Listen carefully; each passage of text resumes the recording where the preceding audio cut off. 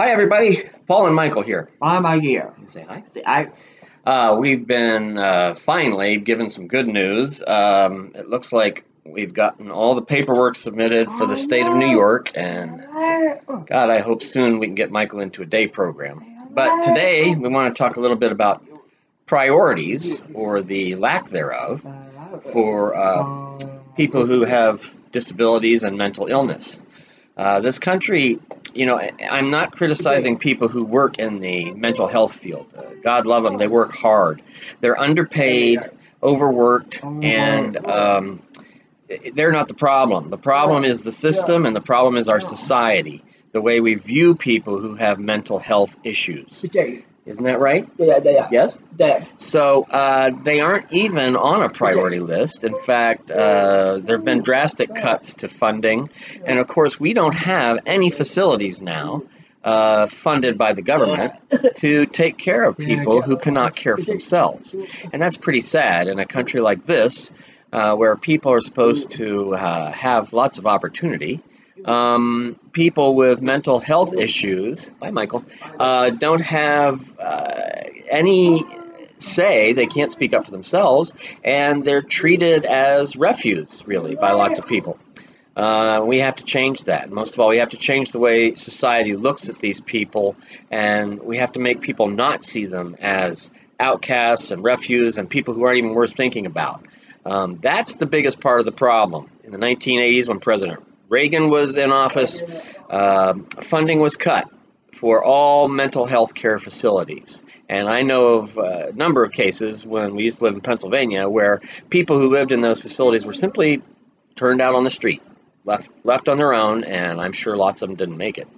And now we have this. Uh, I've, I've been seeing these studies. Uh, lots of experts can't figure out why homelessness is increasing. Um, well, I have a pretty good idea. There's no place for lots of people to go who cannot care for themselves.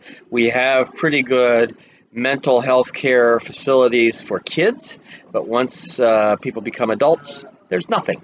Uh, there are psychologists and psychiatrists, uh, but there are no medical mental health care places where people who have special needs can go for medical care and for med adjustments and um, for all kinds of advice for caregivers. I mean, I really valued these places when Michael was little. I could go and we would tweak Michael's meds and talk about what he was going through and and see if the best thing to do was adjust medication or just try making an adjustment in his lifestyle.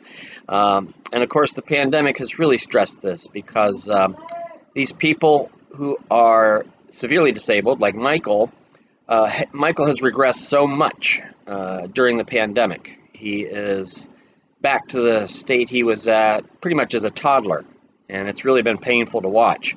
But most of all, uh, we have to start funding things for people who have mental challenges, and we've got to put put them on a priority list. As I said, they're not even on a list right now. Funding just keeps getting cut and cut and cut, and uh, it's got to stop because more and more people are wandering the streets with no one to care for them, no one to give them their medication. And this needs to change. It's a serious problem, and everybody says, oh, that's really bad, but nobody really wants to address it. I, I don't know of any politicians right now who are even thinking about this issue. If there are, I, I, I need to talk to them.